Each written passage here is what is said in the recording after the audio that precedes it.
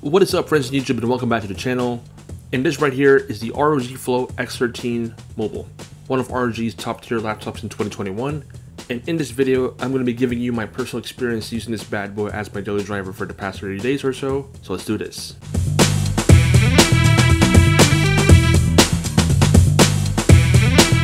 Alright, so let's start off with the feel in the hand.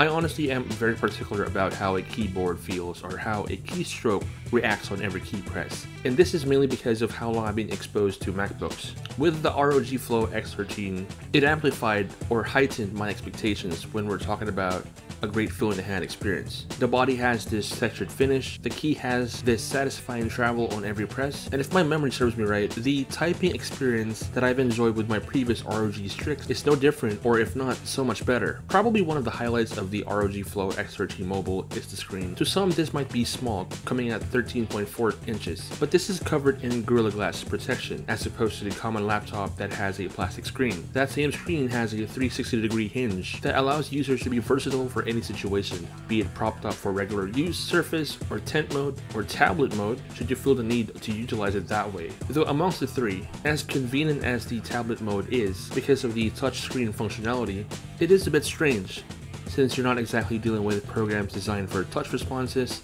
Instead, these are actual programs and actual browsers, so this may seem weird for some.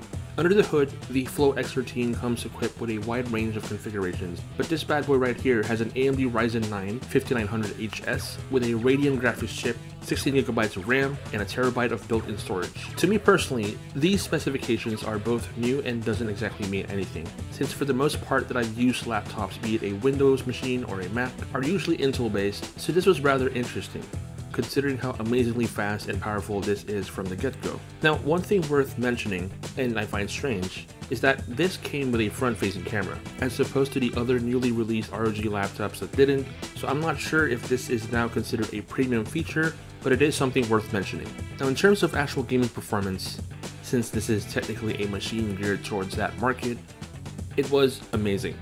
I used to have this notion that a gaming laptop needs to be bulky and massive to cater to so much specs, but this defies that with its compact overall form factor. Now if you crave the extra ports or you feel like you want to prop it up to a much bigger screen and transform this into an actual workstation, you can do so with the use of the XG Mobile, which not only works as an external hub, but also amplifies the graphics processing capabilities of the Flow 13. This basically means this can actually give gamers that edge of having more when gaming, though I personally never had the need for it, and it can be quite a challenge to set up considering the size of it. For me personally, the internals alone is more than capable, so having to have the XG Mobile on the side is a nice assurance, but for me personally it's not a necessity. I mean sure it is small enough to fit a bag, but that's added weight right there, which can be a bit of a drag if you'll be on the commute. Now, what I do appreciate with the Flow X13 Mobile is it comes with some ROG signature pouches and sleeves, so you're not left alone having to scour online stores for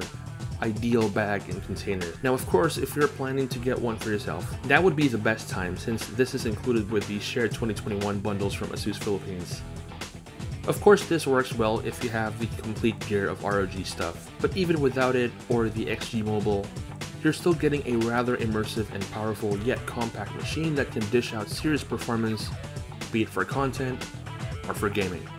Overall, this is a treat not worth passing up, especially if you're like me, a content creator by passion, who has a burning desire for gaming. In any case, that's pretty much it for my review of the ROG Flow X13 Mobile. Let me know in the comments if you have any questions or inquiries, and I'll get back to you as soon as I can. Give this video a thumbs up if you liked it, and don't forget to subscribe to the channel for more tech reviews and unboxing videos.